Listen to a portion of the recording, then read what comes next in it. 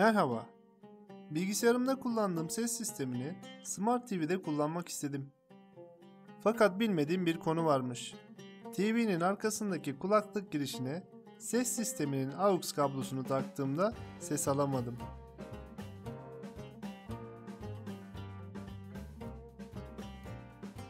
Biraz araştırdım ve optik ses kablosu ile çalışacağını öğrendim.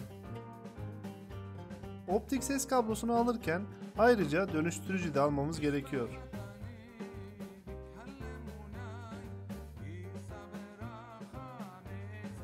Dönüştürücünün üzerinde tüm girişler yazıyor.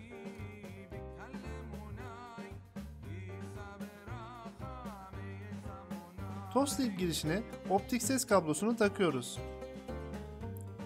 5 voltluk güç girişine dönüştürücü ile gelen güç kablosunu takıyoruz.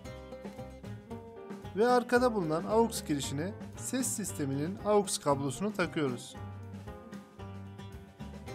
Toslink girişine optik ses kablosunu takarken köşeli alanlara dikkat ederek fazla zorlamadan takalım.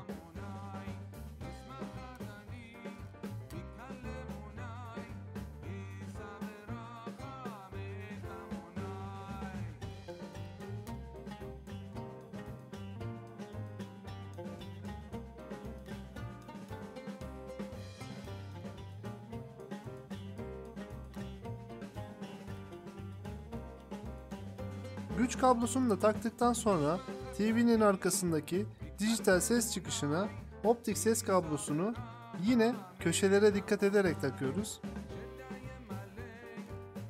Dönüştürücünün güç kablosunu da TV'nin arkasında bulunan USB alanlara takabilirsiniz.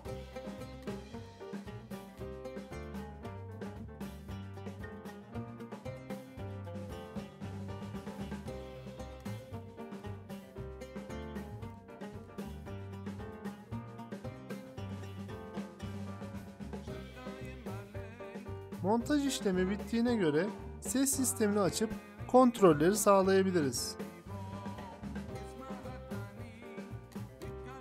İlk açtığınızda ses gelmiyorsa kumanda üzerinden setting tuşuna basarak ayarlara giriyoruz. Ses ayarlarında bulunan ses çıkışı ayarını ses çıkışı optik olarak değiştirdiğimizde ses sistemini çalıştırmış oluyoruz.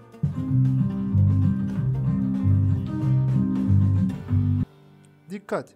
Birazdan arıza sesi duyacaksınız.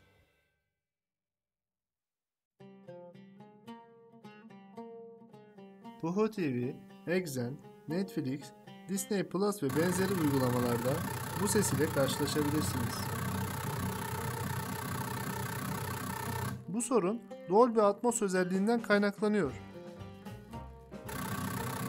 Çözümü için ses ayarlarına girdiğimizde ses çıkışı değil de uzman ayarlarında bulunan dijital ses çıkışını PCM alacak şekilde ayarlıyoruz. Umarım size faydalı bir içerik sunabilmişimdir.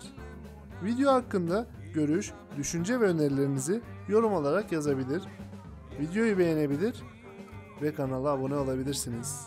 Beni izlediğiniz için teşekkürler.